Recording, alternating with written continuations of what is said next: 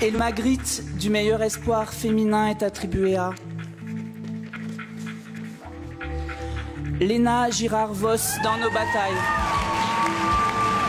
La Benjamine de cette édition fait ses premiers pas au cinéma dans le rôle tendre de Rose, en fille de Romain Duris et Lucie Debert, également nominée ce soir pour Nos Batailles. Léna Girard-Voss est née à Bruxelles il y a 7 ans.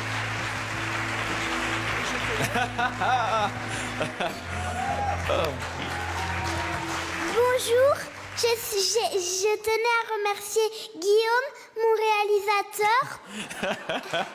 Et euh, j'aimerais bien que Basile monte sur scène parce que c'est aussi un petit peu de sa faute.